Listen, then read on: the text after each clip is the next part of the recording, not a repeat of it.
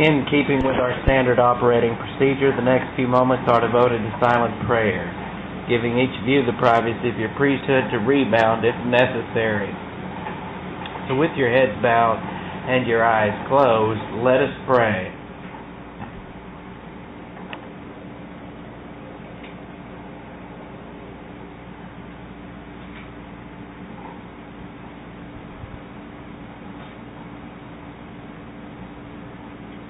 Father, we thank you for the wonderful privilege and opportunity to assemble ourselves together for the purpose of learning the Word of God. May God the Holy Spirit enlighten us concerning these things that we know and make them a source of blessing and challenge in our lives. In Christ's name we ask it. Amen. Turn in your Bibles to Matthew chapter 24, verse 27. Matthew chapter 24, verse 27. Some of this we've gone over, but we're going to move on. 24:27. For as the lightning comes from the east and flashes to the west, that is the way the coming of the Son of Man will be. And uh, some points on lightning. First of all, lightning travels at great speed. Lightning, uh, lightning travels, of course, at the speed of light, at great speed. It can be seen by everyone. That is, if you're not blind, you can see lightning. And Revelation 1 4 talks about how everyone will see this. It warns of a coming storm. Lightning always warns of a coming storm. And this storm will be, uh, like no other, the baptism of fire judgment. This storm will be the baptism of fire judgment. It disturbs and frightens people. Oftentimes, lightning disturbs and frightens people. In the same way, the coming of our Lord will disturb and frighten millions upon millions upon millions of people. Then in 24:28, as soon as this occurs, what what happens? There's a there's a type of bleep here. All of a sudden, we go from lightning to carcass. Well, I'll tell you what happens.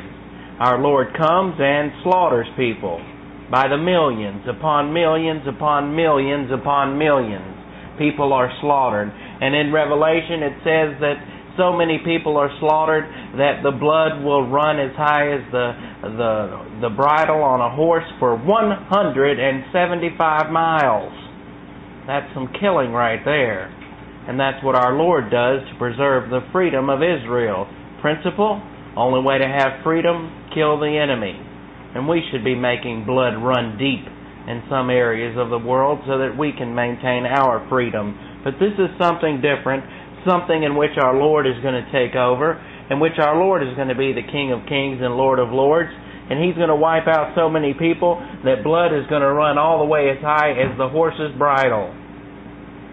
You know, you walk a horse down the street and you got its bridle, well, there's the blood and for 170 miles, that's how deep the blood's going to be. A tremendous thing that's going to happen.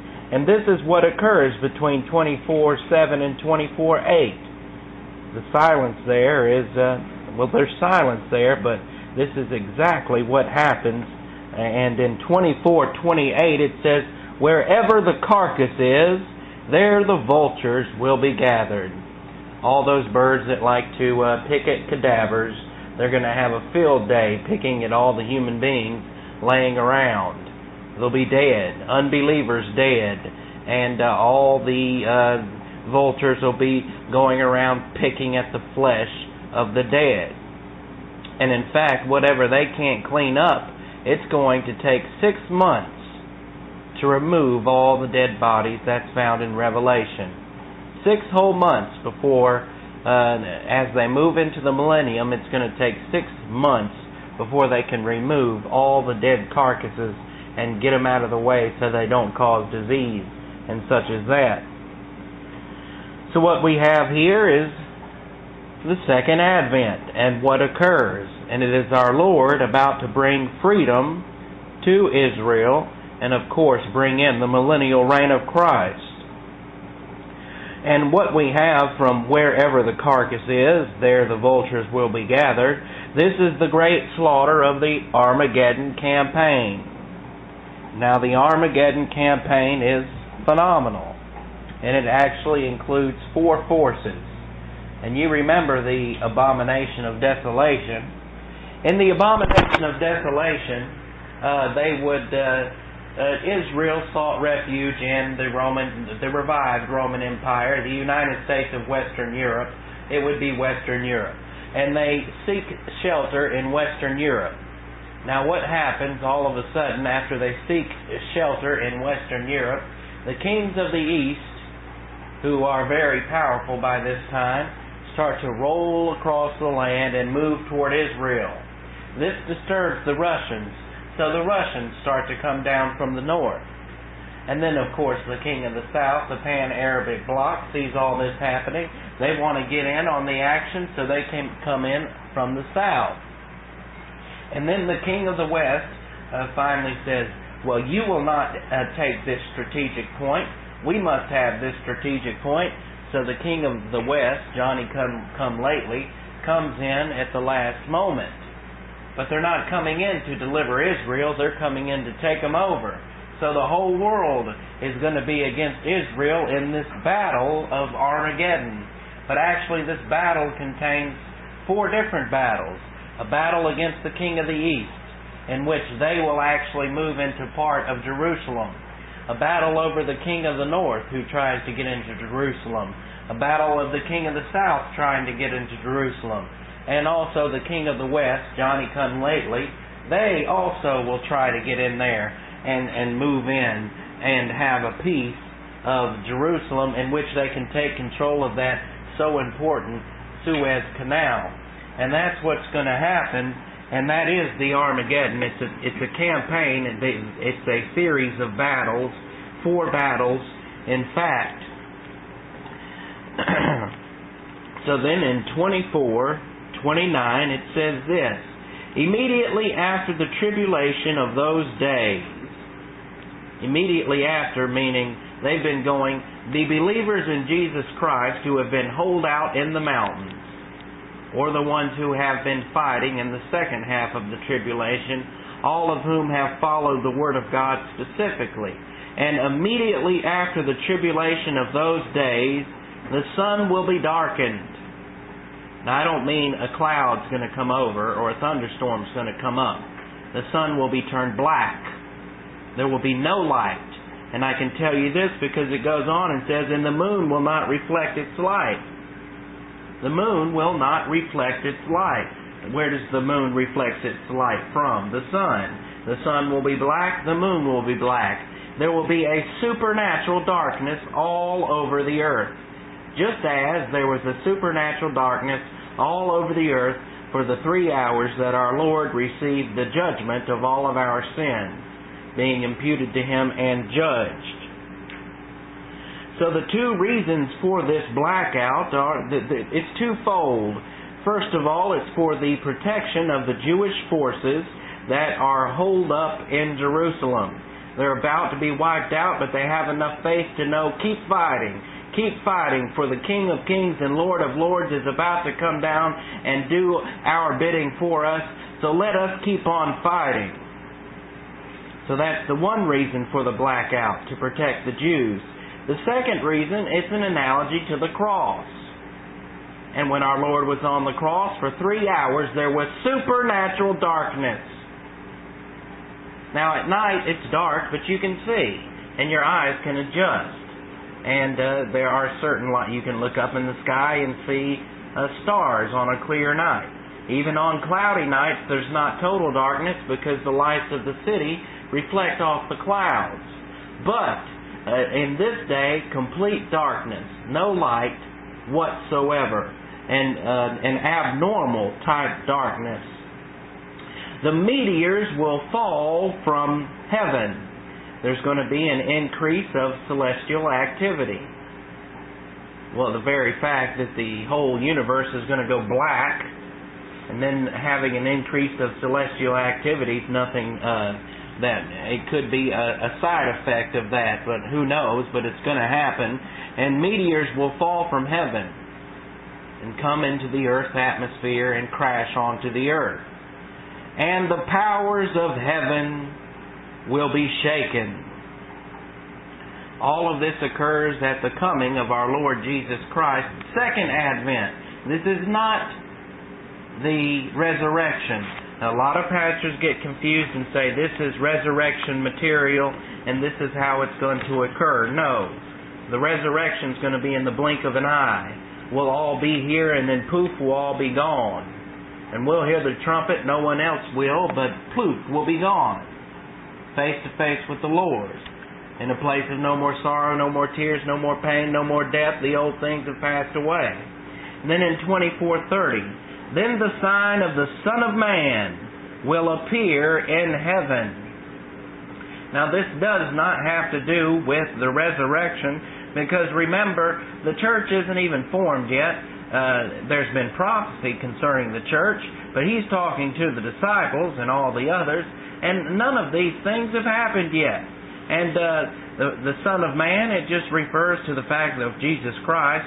So then the sign of the Son of Man, Jesus Christ, will appear in heaven.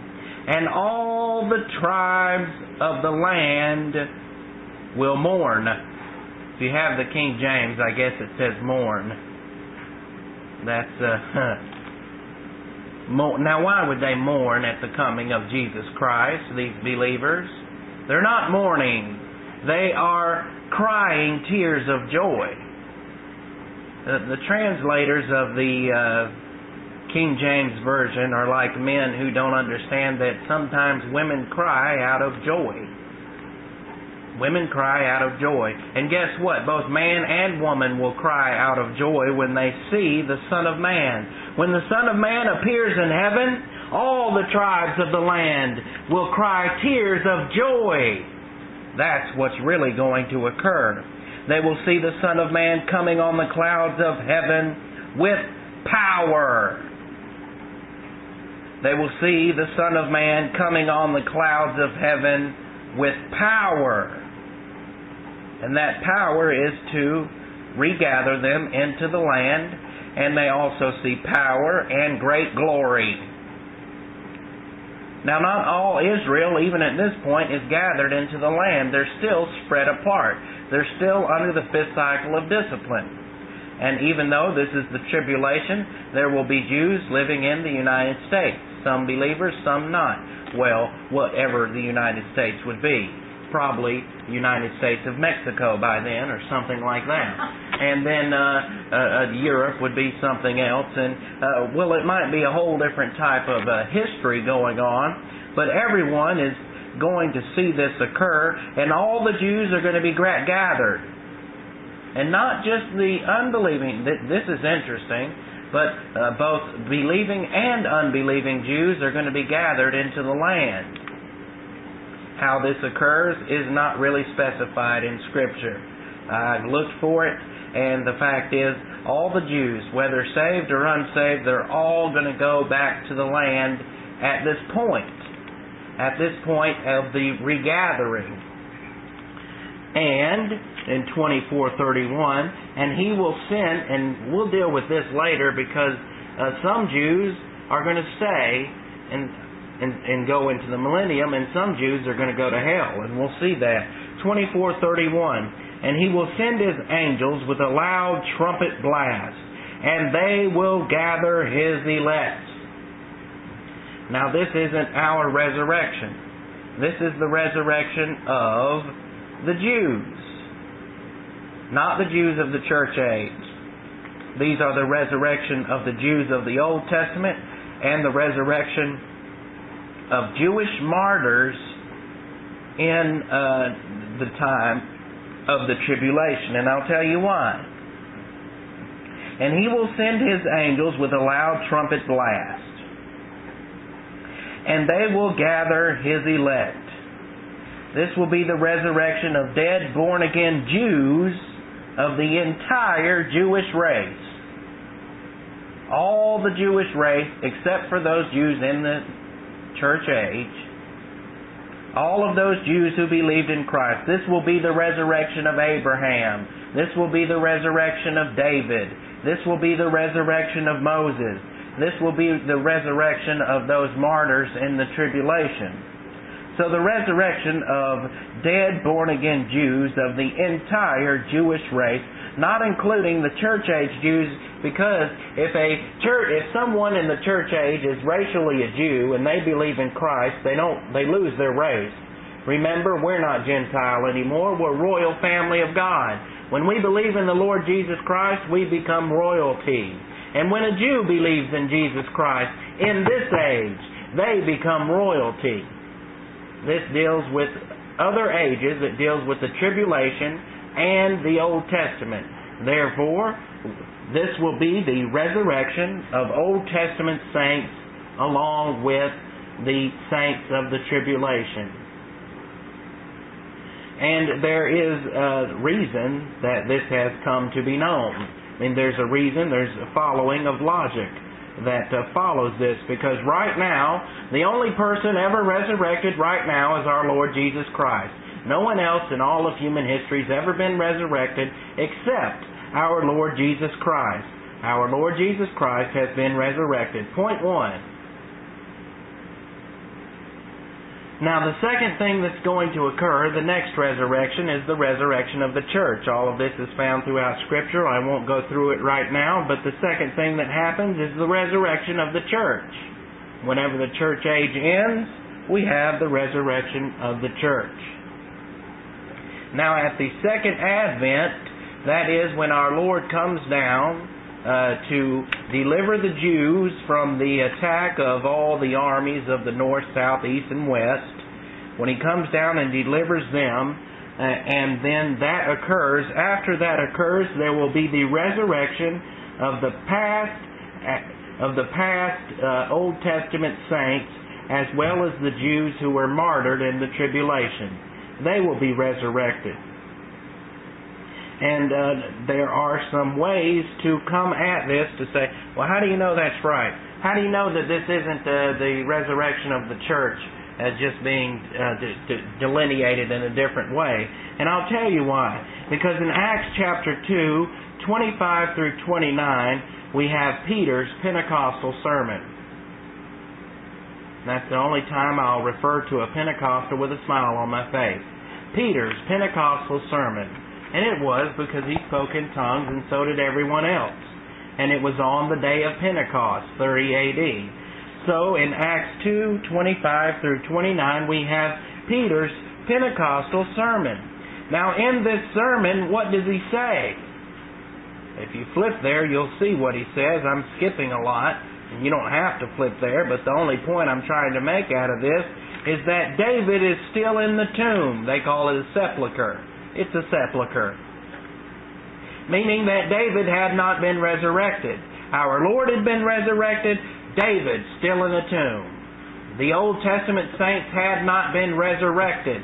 Now, when we get to Matthew 27, we're going to see something of Old Testament saints being resuscitated, and they're going to be walking around in the city, and then bloof up to heaven they go. But that's resuscitation, and then they go to heaven and they're not resurrected. There's a difference.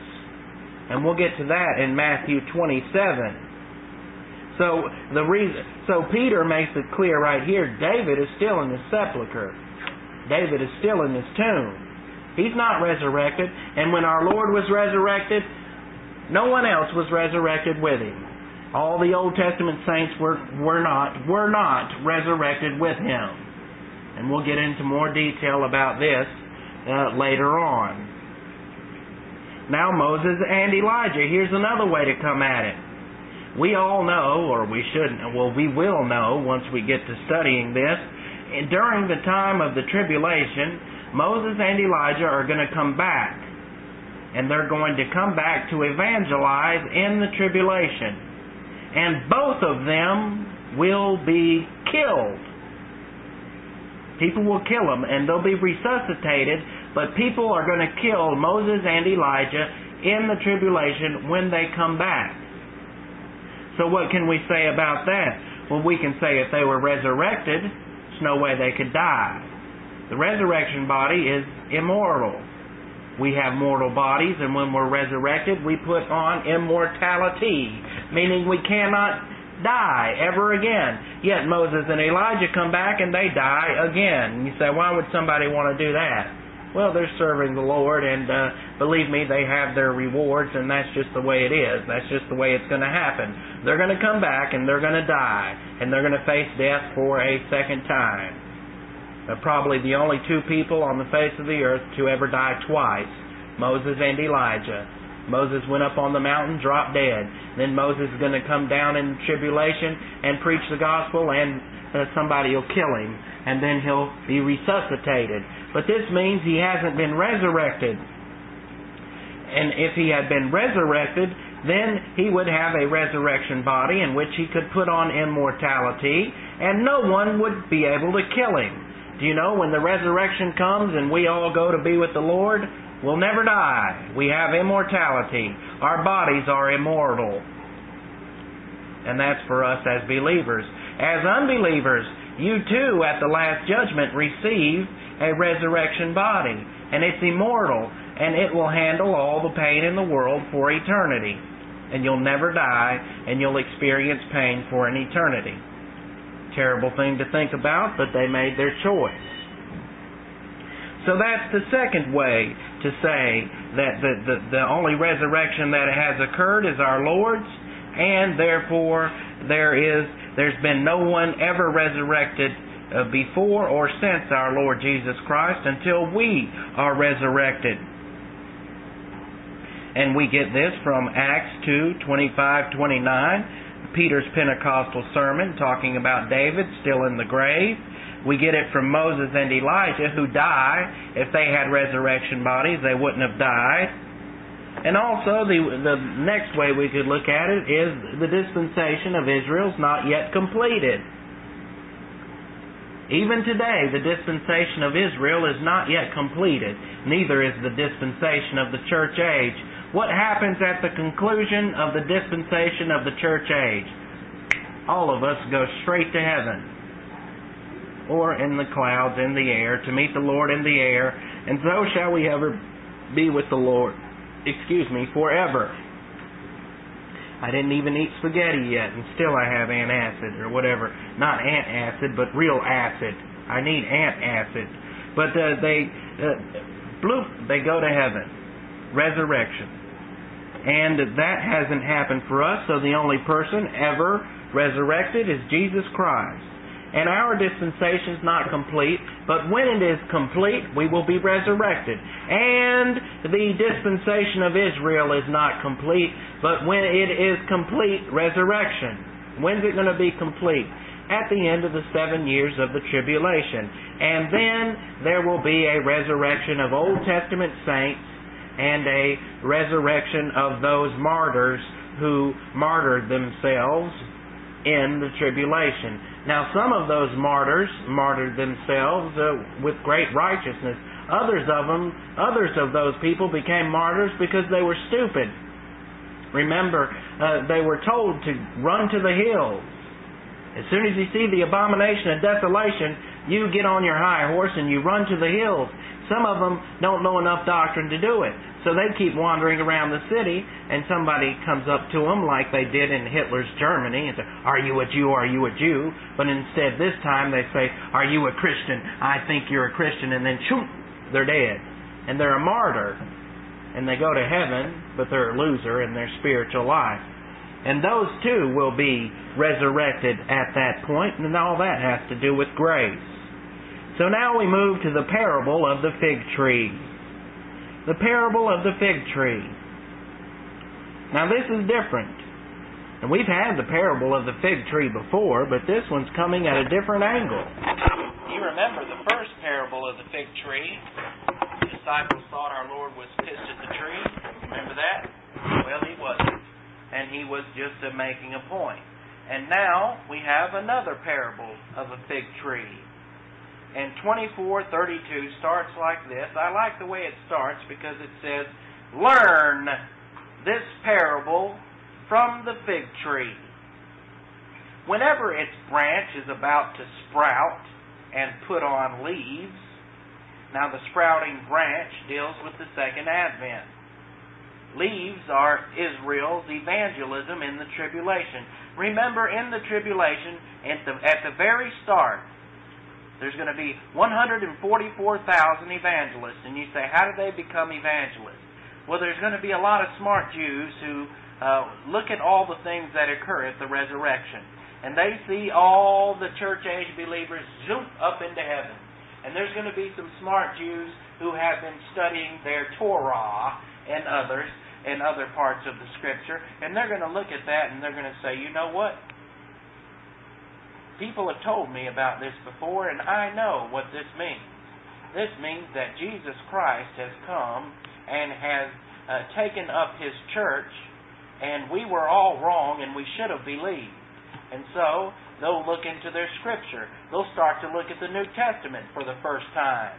Uh, uh, at least 144,000 of them will. And they'll start to go to John 3:16 and they'll start to believe in or they will believe in Christ. And a lot of these will become witnesses. And they will say they were right. We never believed the Messiah had already come, but he had. And he already took up his church, and we believe, and you need to believe. And so there will be 144,000 evangelists running all over Israel trying to evangelize everyone right there. So that's the first phase of evangelism. And these leaves, as we see here, learn this parable from the fig tree. Whenever its branch is about to sprout and put on leaves, these leaves are Israel's evangelism in the tribulation. Then it goes on to say, You know that summer is near. We always associate summer with good times, and I guess they do too. You know that the millennium is near, is what it's saying. You know that the summer is near. The millennium is near. School's about to be let out. I guess that's the best way to describe it, especially if you hate school. School's about to be let out The millennium is here. And that's how they're uh, saying it. Then in 24:32, 33. So too, when you see all these things, you know that he is near at the gates. A point of truth, or verily. Verily means a point of doctrine. Verily. This race, this Jewish race, will not pass away until all these things occur. There are so many principles that come out of 24, 34 that uh, I could talk to you until 2 o'clock tonight. I won't. Don't freak out. But I could out of this one verse uh, just to let you know the importance of it. And this is uh, what it says a point of doctrine.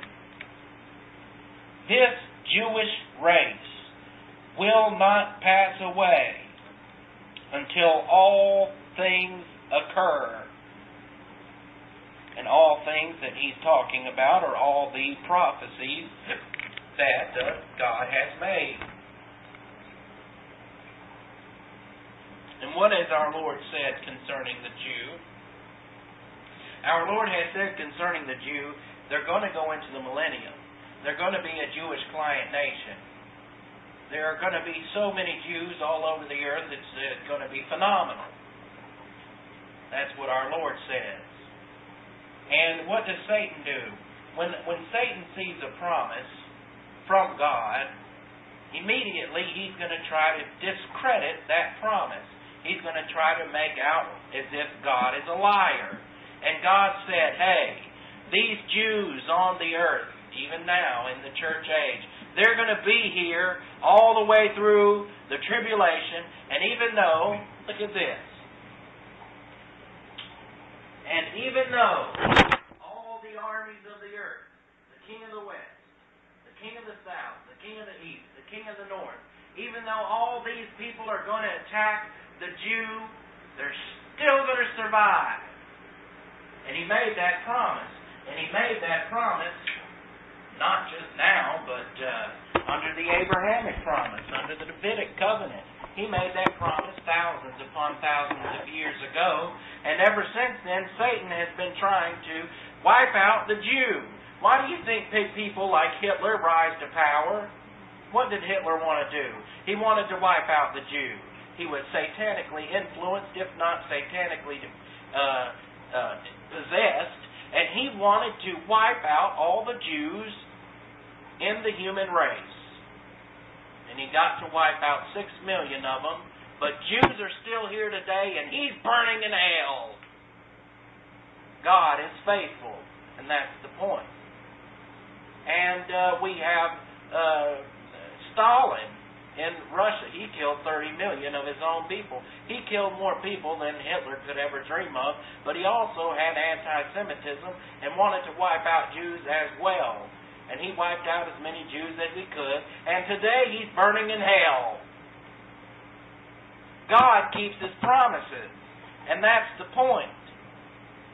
And here is another promise to the Jew, as if they need it anymore. They've been given promise after promise. Here's another promise, a point of truth. Verily, this Jewish race will not pass away until all these things occur. 24:35. Heaven and earth will pass away, but my word will never pass away. And he has given a promise to the Jews so that they will survive the tribulation and they will go into the millennium. But a point to get out of this is this.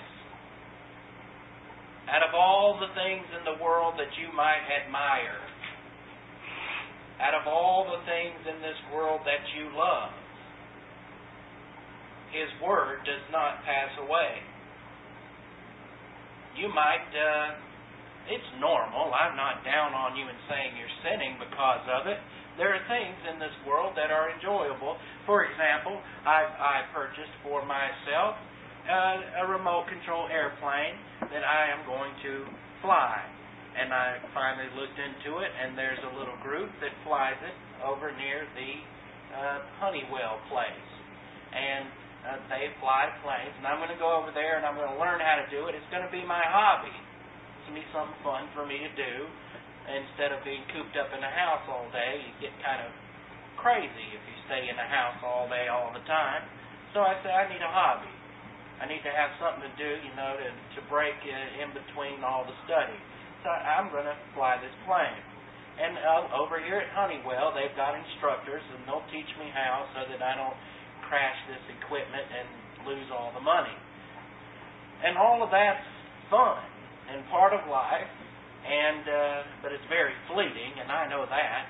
Everything in life that we do for fun is very fleeting. Now, I'm not saying you can't have fun, watch movies, do this. That would be legalistic. But what I am telling you is that uh, everything in this world will pass away. Heaven is going to pass away at some point. Earth is going to pass away. But my word will never pass away. What is the one thing that you can get in your soul that will never pass away? The Word of God. And that brings out the importance of the Word of God and living your life in the light of eternity. If you make Bible doctrine number one priority in your life, as you should, you are storing something in your soul that never passes away. You know, if you got your the most uh, wonderful gift uh, that some of you could get right now might be a brand new car, maybe a uh, Mustang, maybe one of those brand new sleek looking Mustangs they got coming out. And I do like the way those Mustangs look. I wouldn't mind having one myself. But you know what? In 15 years, passes away, that thing will look like an old clunker, all rusted out, 15 years. Not unless people rebuild it and make it a classic. I mean, they do that sometimes, but uh, eventually everything passes away. Glory passes away. You were a great football player when you were in high school, and then you're riding around in one of those Jerry chairs when you're 80. It passed away it all passed away. All that glory you thought you had, all that wonderful uh, pats on the back about how great you were and how you caught that football. Now the only way you can catch the football is to put a gas engine on that Jerry chair. Right up the field. Glory days are gone. And this is what this verse is saying. Heaven and earth will pass away. Even heaven. We look up at the heavens and see the stars. They'll be gone one day, believe it or not, in one big blast. We'll study that in 2 Peter. And the earth. We think of the earth as stable and always going to be here. No, one day, boom, it's gone too. But guess what keeps on going? But my word will never pass away. And if you, on the earth right now, take in the word of God and put it in your soul and grow in grace and in knowledge, that's one thing you take with you to heaven and it never passes away. And with that word you receive reward. And those rewards never pass away. It's a phenomenal thing, and this verse, however short it is, really lets it be known the importance of the Word of God. Because everything passes away. All those things you're concerned about, they pass away. And I want to tell you something. Some of you aren't too far away from graduation, well, quite a ways away. But uh, I want you to think on your graduation day, if you can remember, to think in terms of eternity. And I want you to think that when you're walking up and getting your diploma, as you will, you're smart, you'll get them. And as you're walking up there and you're getting your diploma and you're hearing everybody hollering and clapping, including your parents, and they're probably clapping the most, finally got them through, etc. No more homework for me neither. And once you go through all that, and, uh, and you hear all those humans clapping, just remember that if you fulfilled your spiritual life, angels in heaven clapped for you. You don't hear it. You'll never hear it. And uh, but if you're growing in grace and in knowledge, you'll know it. And uh, if you grow in grace and in knowledge, and you go to spiritual maturity, guess what? all the angels in heaven stand up and cheer. And there are billions of angels. How many do you have in your class? I don't know. My class was large. I think I had 700. Dorman High School or Dorman University, whatever you want to call it. Uh, but uh, yours might have two, three hundred. I don't know. But we got billions of angels just cheering us on to go to spiritual maturity. Now we're in the world and we should do the best we can in high school.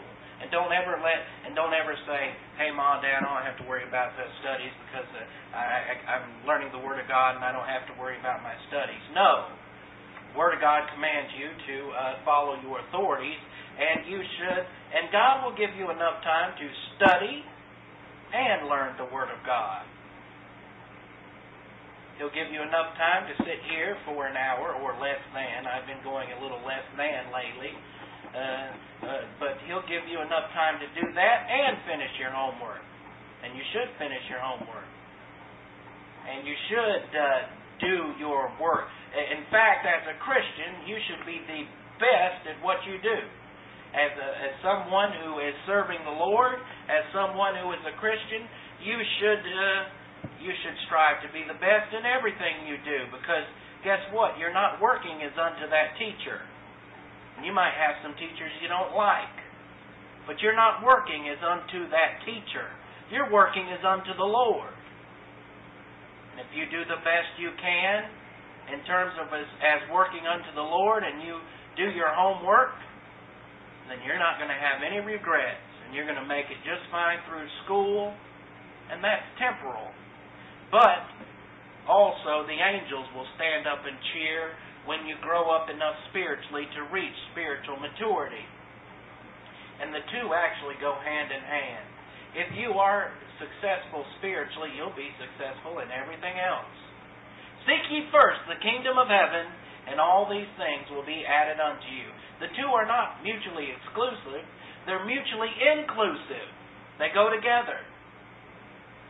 Like love and marriage you learn Bible doctrine. If you learn Bible doctrine and grow in grace, It's going to give you the right perspective on authority, in which you'll have the right perspective to say, I'll do the best I can in school, no matter what a jerk of a teacher I have. Because you're serving the Lord, not the jerk teacher. And this is this is all of this amazingly all of this comes out of this one verse because it says but my word will never pass away. That's phenomenal. And it's something that we should all think about and it's uh, pretty important. So point one the word of god is more important than heaven and earth and that's the whole point the Word of God is more important than heaven and earth. Heaven and earth are going to pass away. The Word of God's still going to be around. Therefore, which is more important? The Word of God. Some people might think I'm a little kooky sometimes, uh, maybe because I uh, love the Word of God so much, or maybe because I want to teach it so much, it just doesn't seem normal. Not you. Why do you make a funny face? I'm just talking in general.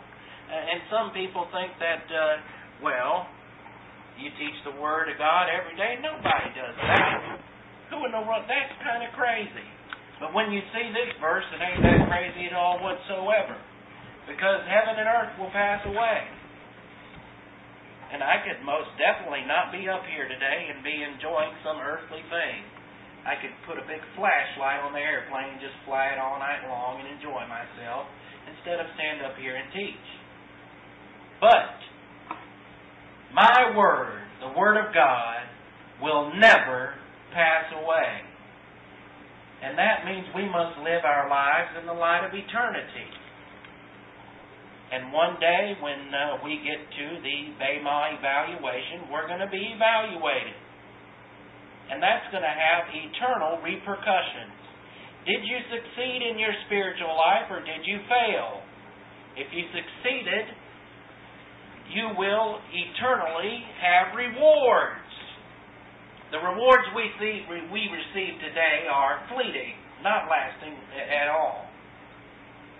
I used to have some uh, little uh, things I wore uh, for doing something in karate when I was seven or eight. I don't even know where they are now. But when I got them when I was seven or eight, that was it. I was somebody. I had just uh, conquered the world with a karate chop, and I was uh, a great dude. But it went away, and that faded away. And then when I got to high school, I realized I had a proclivity toward music, and I uh, played the violin better than uh, anyone in my class, and uh, got first chair. I don't know if you play in the band, you know first, second, third chair. I had first chair ninth through twelfth grade. So there you go. I was good at it. So I was really good at it. But what does it matter now? Nobody remembers me except maybe a few of my classmates. And they say, "Oh, that was a beautiful song." And that beautiful song that I played, uh, how many years ago? Ten. My goodness. Ten years ago, I played a beautiful song and everybody was wowed and everybody gave me praise. Haven't received a praise for that song since. It's fleeting. But with the Word of God, you grow in grace and in knowledge. What is better? To be praised by a man in which man will pat you on the back until you get uh, so old nobody even cares, and that's usually what happens. What I've noticed sadly with a lot of old people is they get to they get so old that people don't even seem to care for them anymore. Don't even want to hang around them. They just sit in their homes alone, drive their jerry chair up and down the street, and then it seems like a very pointless life. But it's not a pointless life if you've had the Word of God, and you could be uh, crippled or whatever once you get older, like Peter was. Peter got to the point where he couldn't even uh, go to the bathroom without somebody helping him. And our Lord prophesied that's the way it would be for him. Yet Peter has rewards today. And at the Bema, he'll receive many more rewards than we will. And those rewards are everlasting. Everlasting rewards. So which is better? Is it better to be praised by man or is it better when we pass from this earth and go to be face to face with our Lord, to hear our Lord Jesus Christ and to see Him, and to see Him look into our eyes and say, Well done, my good and faithful servant. That is far greater than any compliment or any achievement you can receive on this earth. So, with your heads bowed and your eyes closed, Father, we thank you for the wonderful privilege and opportunity to study this portion of the Word. May God the Holy Spirit enlighten us to the importance of the Word of God so that we can understand that while the earth and everything else will pass away, your Word endures forever so that we might glorify you. In Christ's name we ask it. Amen.